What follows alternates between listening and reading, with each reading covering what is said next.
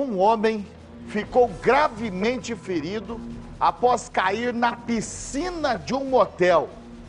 Quais as circunstâncias que levaram a essa queda? O Índio Maringá vai contar pra gente. Nós estamos na PR-317, na saída de Maringá para Astorga, para Iguaraçu. Aqui na continuação da Avenida Morangueira. E agora há pouco, o SAMU foi acionado juntamente com o médico e também com integrantes do Corpo de Bombeiros para atender uma ocorrência grave no interior de um motel. Um homem que estava caído na piscina, mas a piscina estava vazia. Nós viemos até o motel, conversamos com a funcionária que fica como atendente, que fica ali no plantão, e ela nos informou que o motel contratou uma empresa terceirizada para fazer reparos no telhado do estabelecimento.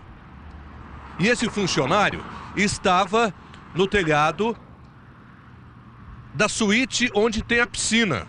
A piscina é a céu aberto.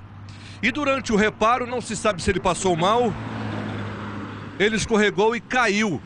Caiu do telhado diretamente na piscina da suíte. Bateu com a cabeça teve traumatismo craniano, ficou desacordado e o caso é grave. Ele foi socorrido, encaminhado para a Santa Casa, onde continua hospitalizado.